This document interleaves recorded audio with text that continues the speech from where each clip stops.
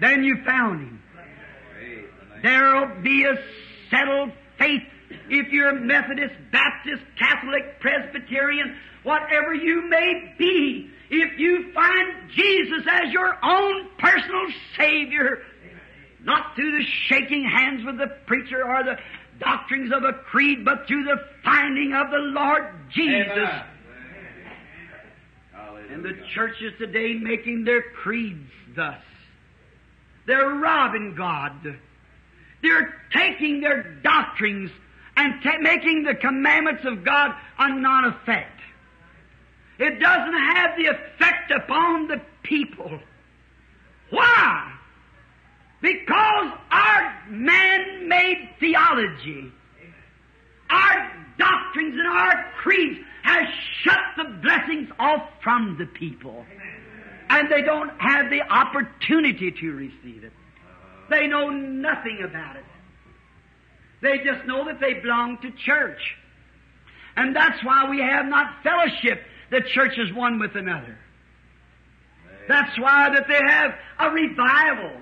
And the other churches won't cooperate with them. A certain denomination because they say, it's not my faith. There's only one faith. The Bible said so. Amen. Not faith in a creed. Not faith in a denomination.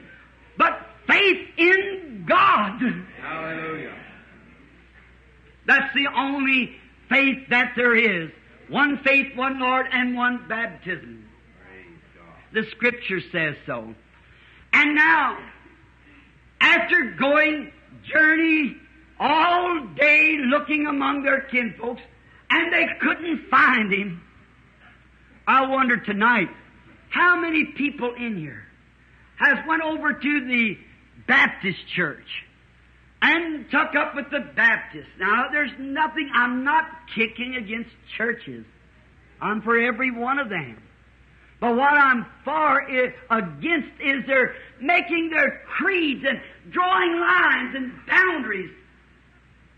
If every church stayed right straight on the Bible and just read it the way and don't tamper with it, just leave it the way God wrote it. But they'll go a little piece and say, oh, that was for another age. It's no other age. God is the same yesterday, today, and forever.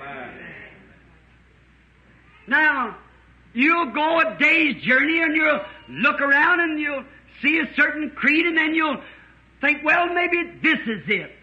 And you'll go in and you'll look around. There'll be someone in there that'll do something. You say, this is not it. You'll get your letter from that church and take it over to another. And then you'll be in there for a few days. Or maybe weeks or months or even years. Somebody will upset that little apple cart of yours.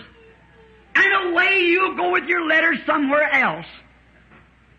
And from there to somewhere else. You're never settled. The Bible said you're like wandering stars. Ships without sails. Tossed about by every wind of doctrine. When the Bible forbids us to do that. Be stable. Know where you're standing. Don't base it. Now, you can be honestly sincere with that, being stable. You can be a stable Methodist, Baptist, Presbyterian, Catholic, or whatever more, just as stable. But don't be stable in your church doctrine. Be stable in the Bible doctrine. Amen. Then examine your doctrines by the Bible. Ask what Jesus was. If he isn't the same today, then your doctrine's wrong. You have an example. And he said, I am your example.